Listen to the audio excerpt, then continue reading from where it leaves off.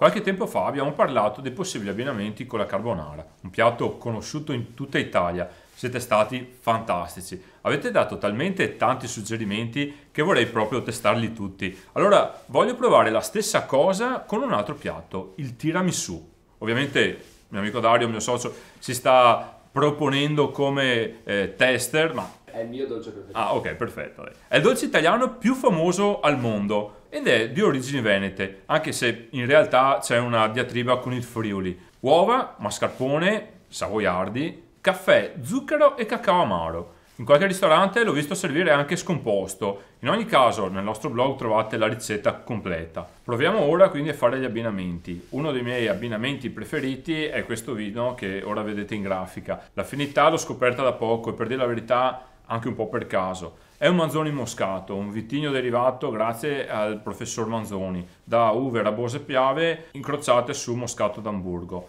Questo in particolare lo produce l'azienda Borga. Siamo in provincia di Treviso e il connubio tra dolcezza e acidità che ha questo vino lo mette in armonia con la coppiata crema mascarpone e cacao del tiramisù.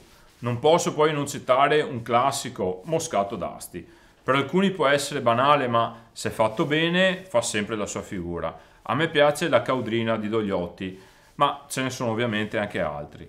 Altro vino, scegliendo un passito invece, direi sicuramente un Montefalco Sagrantino, magari quello di Napolini. In Romagna poi c'è lo scacco matto di Fattoria Zerbina, un albano muffato che al di là del tiramisù andrebbe proprio assaggiato, eccellente anche in abbinamento ai formaggi. Concludo con un passito di pantelleria che può essere scontato ma assolutamente mai banale. Ho assaggiato recentemente, oltre ovviamente a quello di Donna Fugata che potrete trovare nei nostri video, quello di Minardi, una piccolissima azienda che fa 100% zibibo, veramente degno di nota. Bene, ora aspetto direi con ansia le vostre proposte.